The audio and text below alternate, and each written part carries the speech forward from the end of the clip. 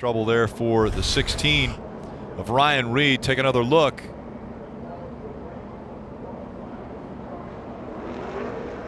And one of the crew members got his foot run over. Trying to add a little tape there. Couldn't quite get the job done. Don't know if he got that tape on there.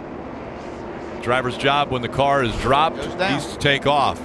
Just happens that the crewman was in front of him. And that's Calvin McClurkin. I've caught up with him here. He's the front tire changer for uh, the Ryan Reed. Are you all right? We saw you take a little spill there.